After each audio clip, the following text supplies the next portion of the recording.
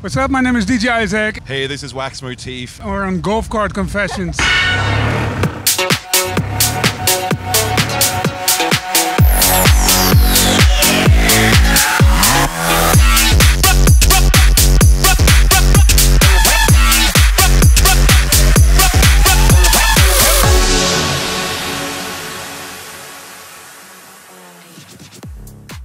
What's the silliest fear that you think you have?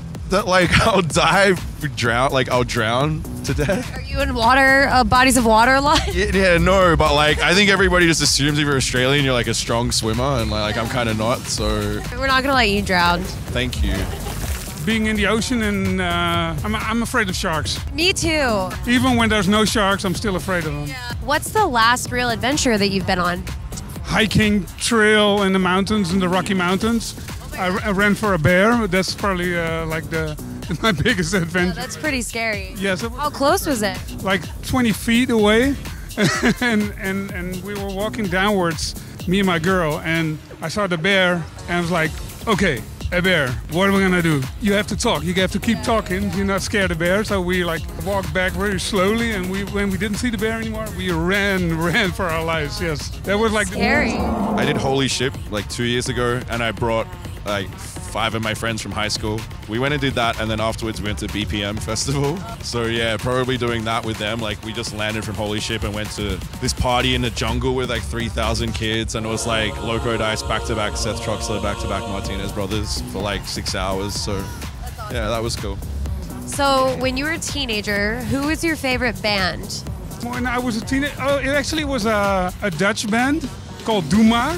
No one would know it. It's like a reggae band, you know, like every every teenager was a fan of that band, you know. And it's like I had like posters on the wall, like scars and everything, you know. Like I was a major fan of Doe Maar. Either like The Prodigy or Chemical Brothers.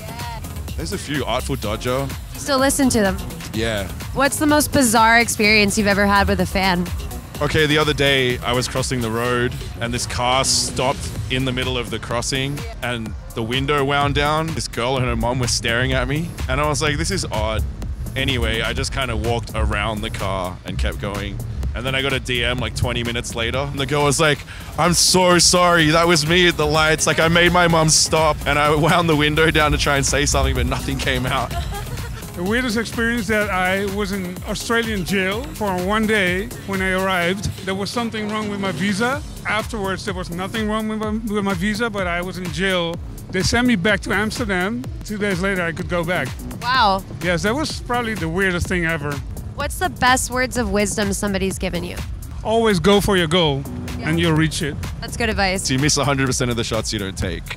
Yes. which is really really like i've tried to live by that now and just like be fearless with your your ambition basically No nudes on Insta, just cowboy hat over the, the stuff, you know? Yeah, I've been on the weird side of YouTube. You know, you end up on the how did I end up here?